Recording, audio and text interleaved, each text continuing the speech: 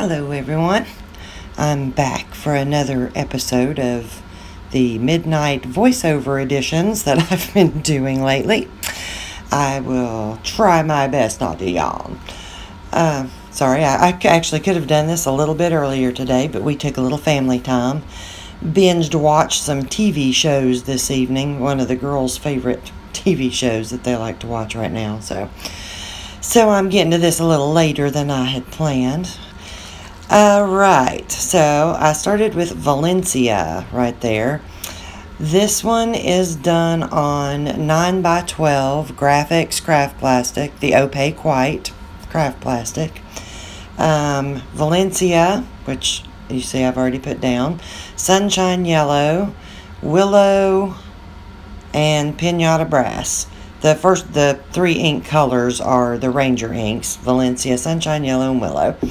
And then the Pinata Brass by Jacquard uh, with some 99% isopropyl alcohol and my ever-present Revlon brand styling brush hair dryer with the brush attachment removed.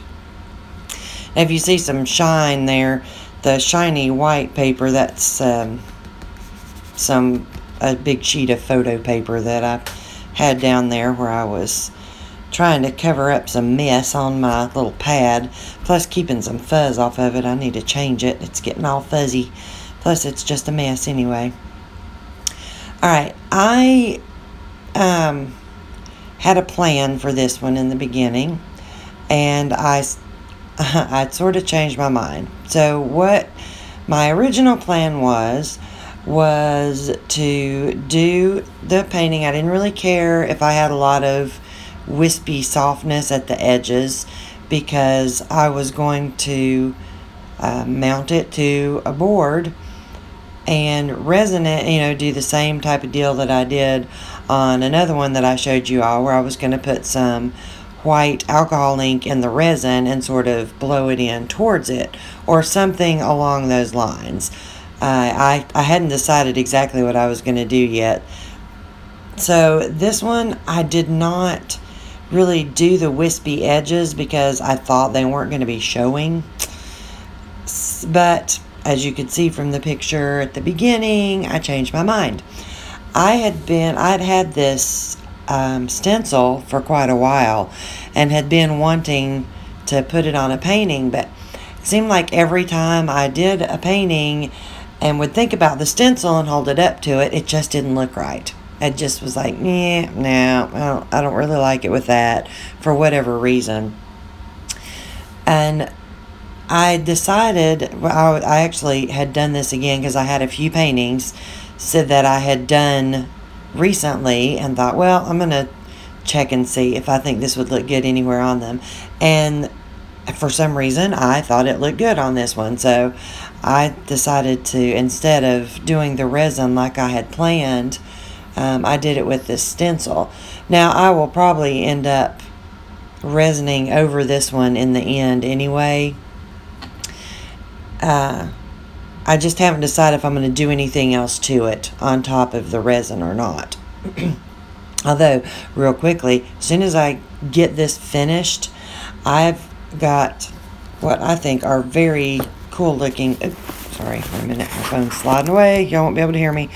Um, some very cool looking things. I, I promise I will get to uh, telling you all what I'm doing here in a minute, but it's all pretty much the same thing through the entire painting, so uh, I can only say it so many times. So let me tell you this first. Okay, so I had decided to try to do just a resin painting um, with uh, uh, mica pigments in it.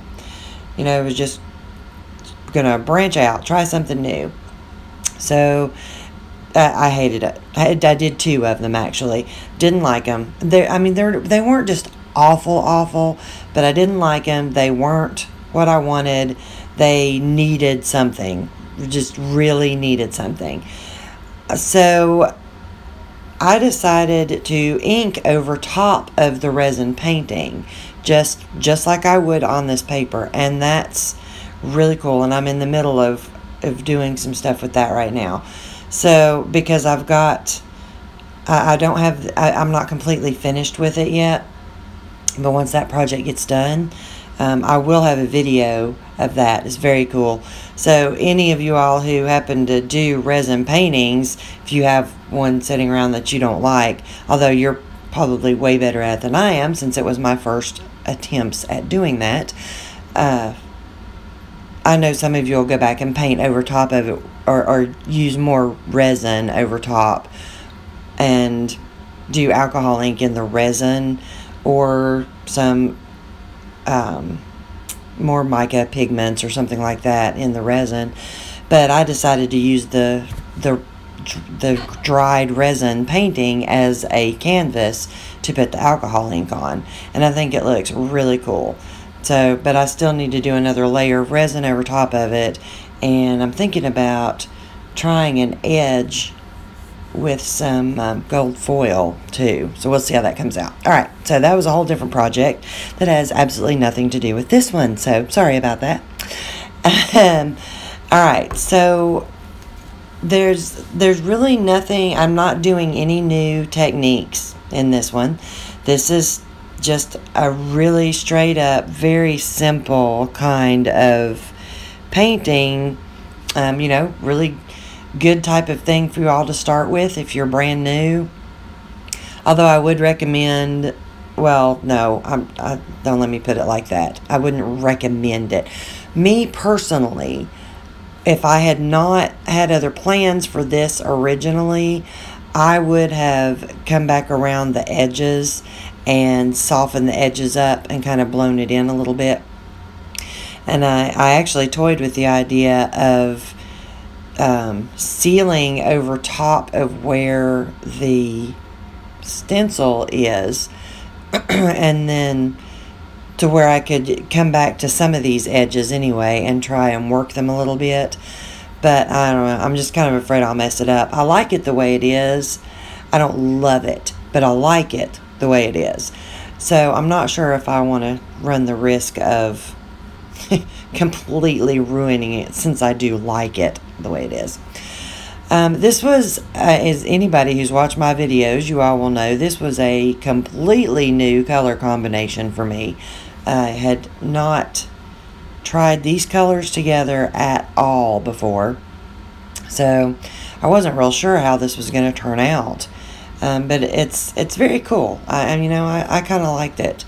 It got a, a 70s vibe to it there with the that willow color in there the the green and the orange and the yellow but uh, but I liked it so so that's good um so I'm trying to see if there's any advice that I can give right now just you know you'll see what I'm doing with like I'm always saying keep it keep your air source not directly over top of your ink and alcohol puddle. Because, like I've told y'all before, it will just blow it all over the place. You'll get those little fingers running out everywhere. And uh, it's not, you're not going to have that really nice, soft, smooth, wispy look that you want. That kind of smoky, ethereal fade, whatever you want to call it in there. Um, so, yeah, just you know, keep that in mind. And if you do get those fingers, see I got a little bit right there. If you do get them, just come back with a little more alcohol and you can fix it. I mean, it's the great thing about alcohol inks is it's nothing's permanent. All it takes is more alcohol to reactivate your ink and you can, you know, do something else with it. And another thing that I've mentioned before if you are doing something like this and your colors aren't blended as well as you'd like, just come back over it. If you're worried about putting just more alcohol down, because that that can sometimes leave you lighter places than you want, or maybe it'll blend it too much. I don't know. I, I don't like putting alcohol down in the middle of the painting again because it. Uh, it, it makes it look different than the rest of the painting if I try and fix just one little spot sometimes. So I don't really like to do that. But if my blending is not what I want it to be, as long as you don't have a problem with having a lot of of uh, flash to your painting, having a lot of gold color to it, if you're using pinata brass. Now this will not work good, as far as I know, it will not work good with the other metallics. I have not tried it with the others because I'm about 99% sure that it won't work. But if you're using Pinata Brass, which is my number one all-time favorite metallic color, uh, you can go back over the entire painting with just the brass and alcohol. Just put down two or three drops of brass, put more alcohol in it than you would normally use for, you know, a, a section of the painting, and then just blend your, um, just kind of blow your brass around basically until it dries. I, I don't know how else to tell you, you know, what I'm talking about. Trying to see if I was kind of actually, that right, right here, I was actually doing that a little bit. Now you can see it did leave some spots on the paper. That's fine. As long as you keep working that part a little bit, or even put down just another drop or two of alcohol right there, uh, you can get those spots to come up. They'll work their way up. But, you know, here's a tip that I'm not sure if I've actually mentioned y'all before. When you're doing this, when you're just using the, the metallic and the alcohol, if you need to add more alcohol, it works much, much better if you do it in a spot where your alcohol that you put down first is still wet. It's better not to dry it all the way if you're going to add more alcohol to it. It That way it doesn't lighten your ink quite so much in that one place, but it also keeps your um, your metallic, the pinata brass anyway, keeps this pinata brass from blending too much with the ink that's underneath it. You know, it kind of helps keep it floating on top if it's still floating when you add more alcohol. If it has already dried, then a large portion of it is not going to lift the way that it does with the wet alcohol. It's just going to sort of blend in with it and leave you with the um, too much of a dirty spot a dirty looking spot on there. Now, you know, you can get those sometimes no matter what you do, and it's no biggie. There, it's beautiful if you turn it in the light, but if you turn it another way, it just kind of ends up having this kind of dirty looking stuff under there if you're using really light colors. So, um, keep that in mind that, you know, that, that that can be a little bit of an issue. And it doesn't bother me as long as it's kind of spread out throughout the painting because it gives you a really nice glimmer when it's turned the right way in the light.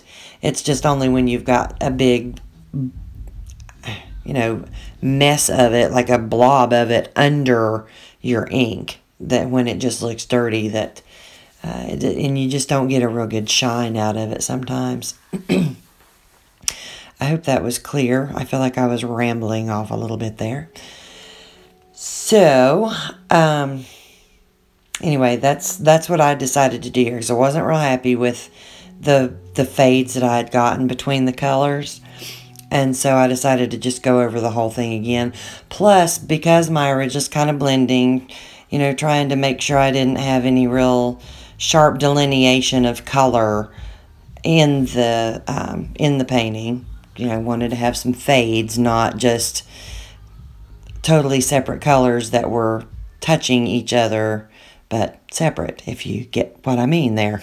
so, hopefully that made some type of sense.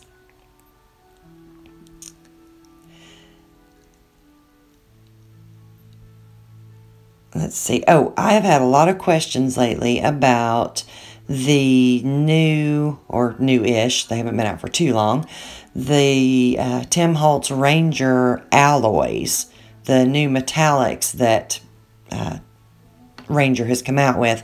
I have not tried them. I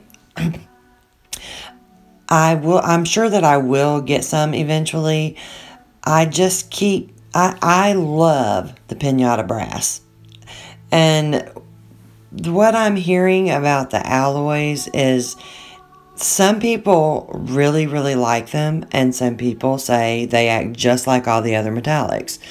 That pinata brass is still, you know, the best one they found for this type of painting. You know, it just depends on the look you want, I think.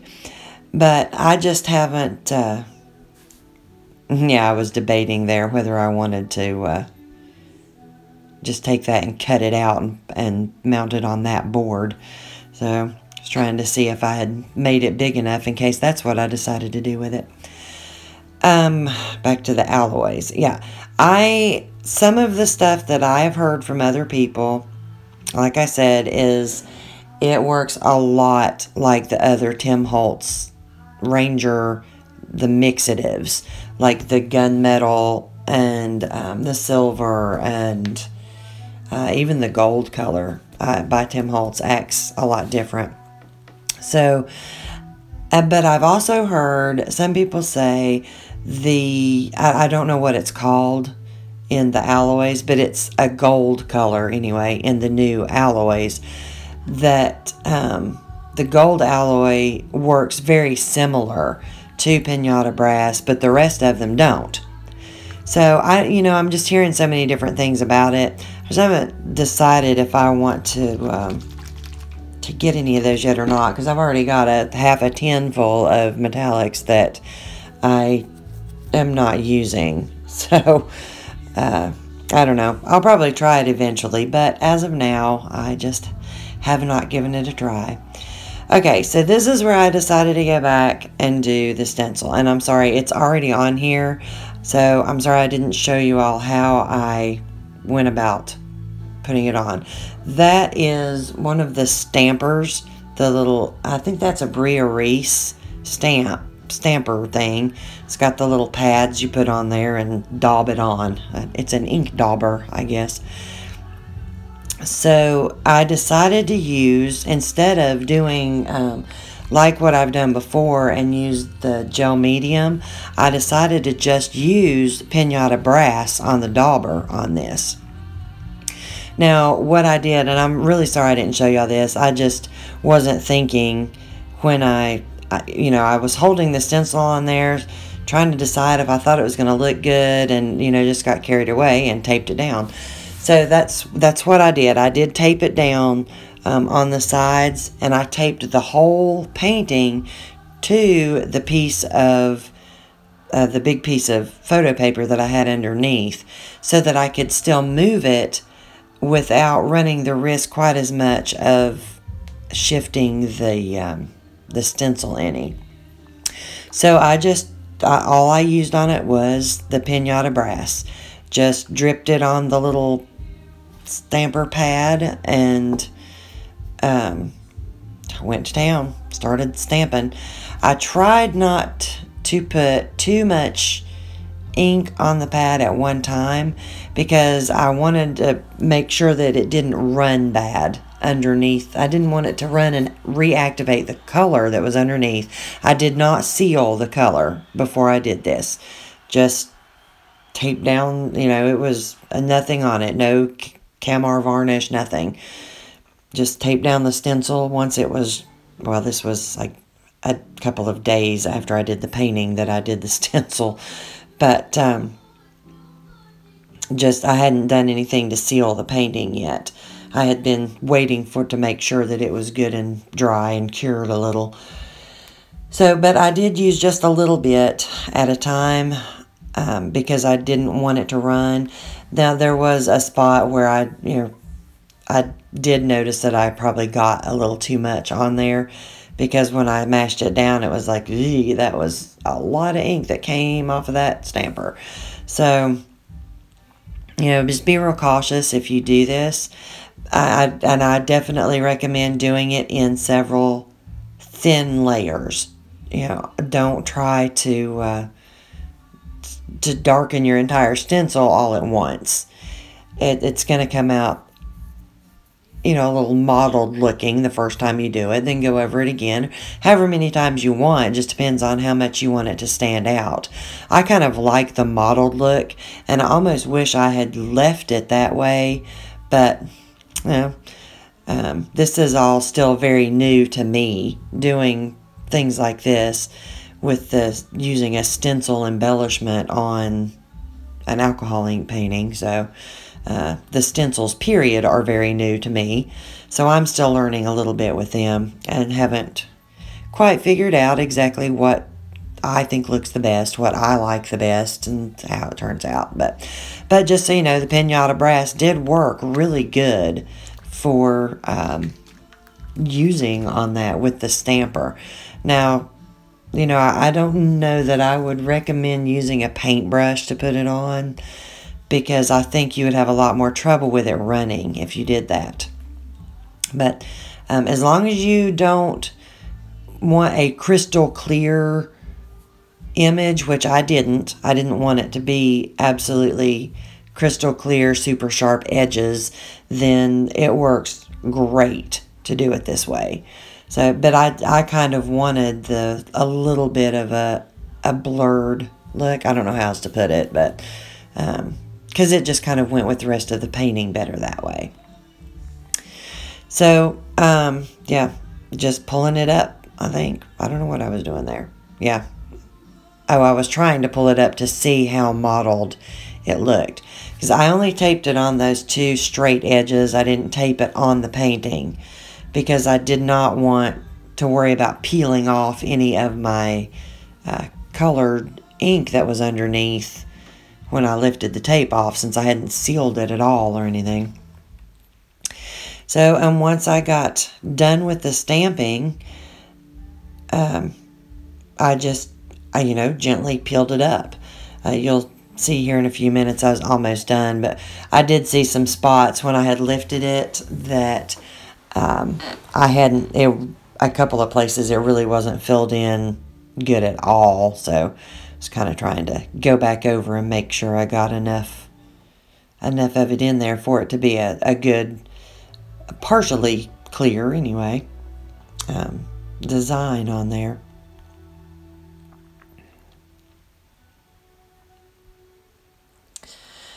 I need to decide now what to do with it because I still, I don't know, I just, I can't decide whether to go back and work on these sides where I feel like I it needs to be wispier if I'm gonna leave it like this um, or whether to go ahead and go with my original plan but just not use quite as much white or whatever I choose to use in the resin. So I don't know. Something to think about. If I end up um, changing it or doing something else to it I'll try to video it for you all if it's something that you haven't seen me do a thousand times anyway. Uh, like adding something to the resin, a different color or um, some more ink to the resin and doing something with that. So I thought I could resin it and then put maybe some gold foil. Nah, don't like that idea. Not with the not with the design in the corner up there. I don't think that would look right. I don't know. I'll think about it. I'll toy with the idea a little bit.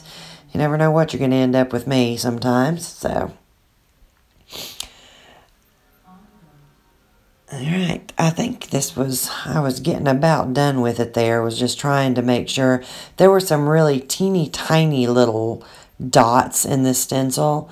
And so I, I was having a little bit of a hard time getting the ink into those little itty bitty dots since I was trying not to use really heavy amounts of ink at one time. and that does seem to be the places where I kind of got a little more than I probably should have was the places where it had the the dots in it. Now, if you do this, I mean, obviously, it's super easy to wash your stencil off, too. You don't have to worry about doing much other than, you know, putting some alcohol on it and that ink's going to wash right off your stencil and it's going to look brand new. Be really, really easy to clean. there I just hit it with just on low heat just for a minute because I wanted to make sure that the ink was dry before I lifted the stencil off just to not worry about smudging it.